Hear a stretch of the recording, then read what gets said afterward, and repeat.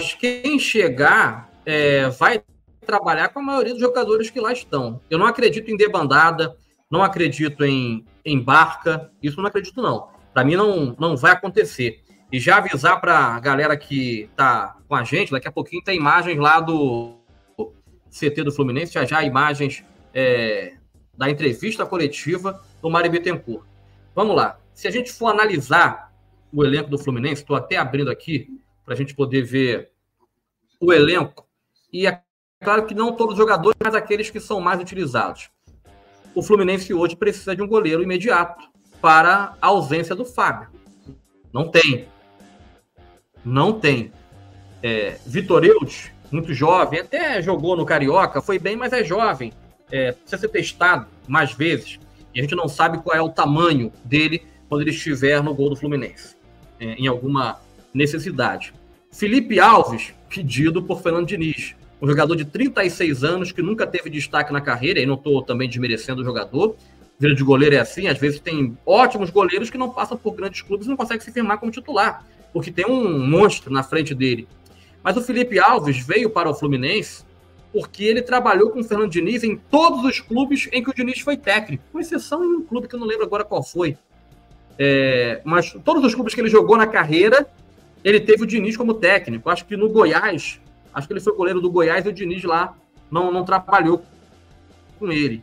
Então, assim, ele é o goleiro do Diniz. Periga agora o Diniz acertar com algum clube e, e ele ser contratado. Não foi Goiás, não, foi Juventude.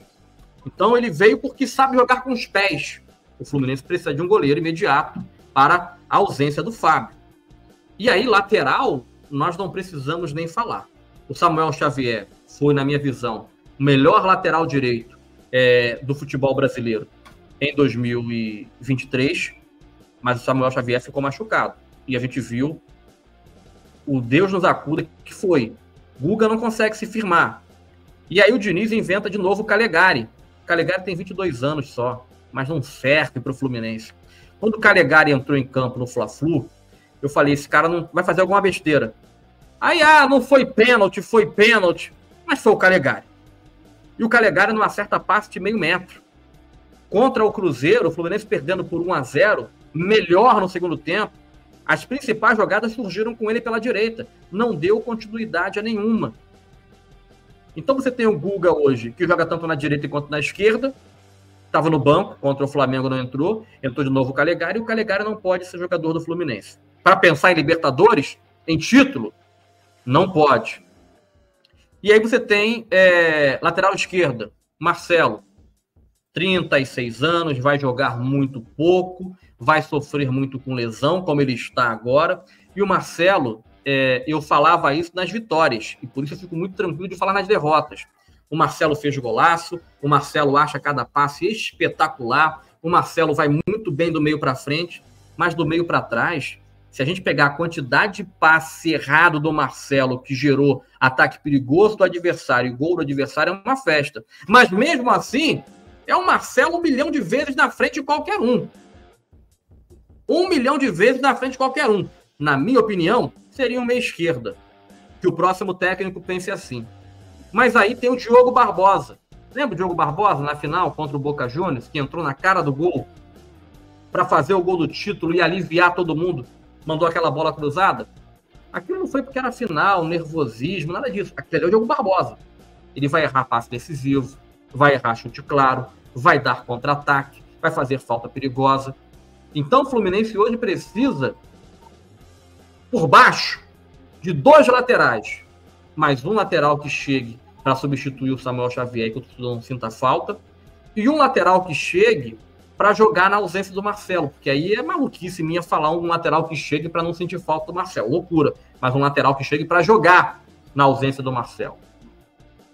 Aí, Pimentel, a gente tem um problema na zaga, porque o Marlon tem contrato encerrando, espero que não renove, e a torcida do Fluminense também.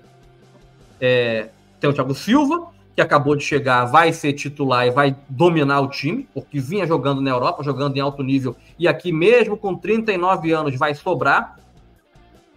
E aí eu espero que o treinador dê jeito no Antônio Carlos, porque o Antônio Carlos não é nenhuma sumidade.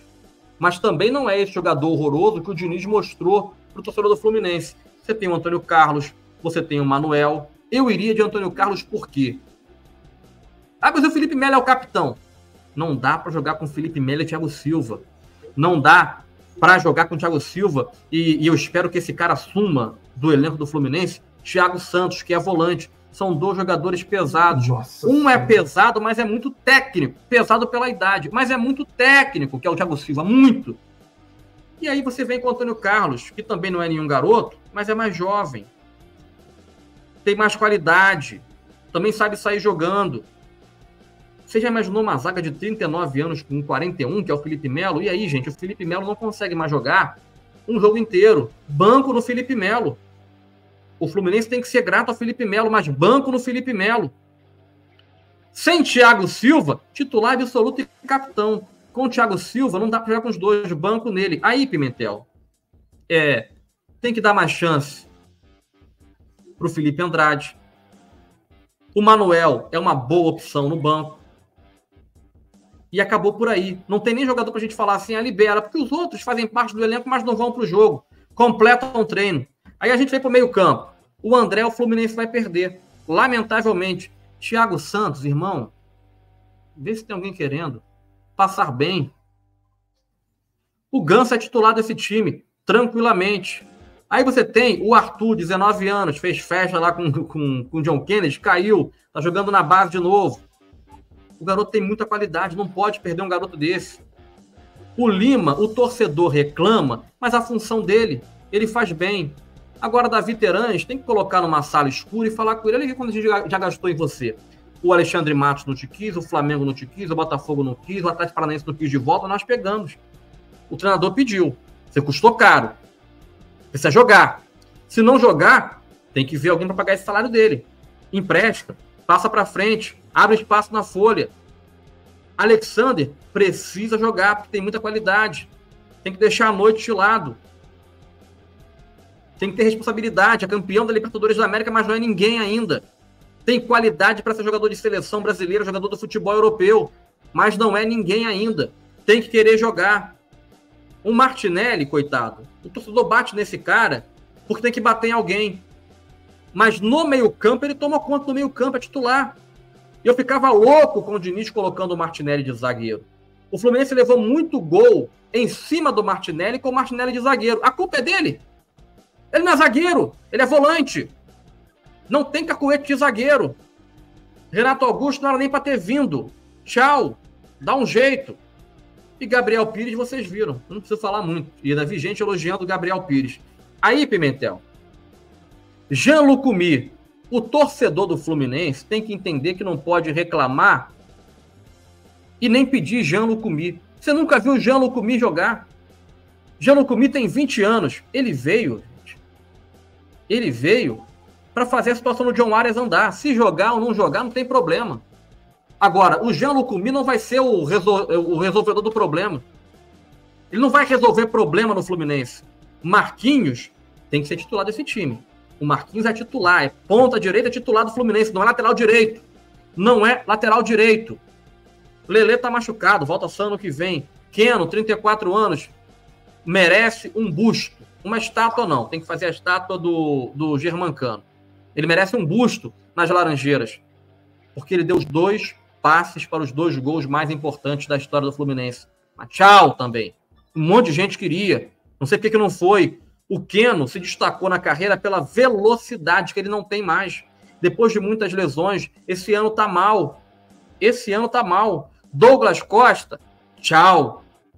Ou vocês apostaram que o raio seria o raio com 33 anos depois de não fazer uma trovoada mais em lugar nenhum? E o Germancano, ele tá machucado. Ele falou isso. Tá machucado, tá jogando com dor, mas ele insiste, a bola não chega no cara. A bola não chega no cara. John Arias, Fluminense vai perder, lamentavelmente. E eu deixei por último o John Kennedy. É, não vou comparar o John Kennedy com o Hendrick. Mas o ano começou para o John Kennedy da mesma maneira que começou para o, John, para o, o, o Hendrick. Lógico o Hendrick já vendido do futebol europeu para o Real Madrid. Mas os dois sendo os nomes da seleção olímpica, daquele fracasso olímpico. Só que mesmo naquele fracasso olímpico, Olha que o John Kennedy voltou antes, ele se apresentou antes é, do que todo mundo, começou a treinar com o elenco do Fluminense que não tinha viajado para o Mundial, foi para o pré-olímpico, que foi horrível, mas o Hendrick foi bem. E o John Kennedy voltou e parece que está descolado, está pesado, está sem ritmo. Ele fez de tudo para ser expulso do Fla-Flu. No final do jogo, ele deu duas, deu duas voadoras no atacante do Fluminense, no, no, no Matheus Araújo, não, no, no camisa 7 do Flamengo, e não conseguiu acertar. Ele ia ser expulso.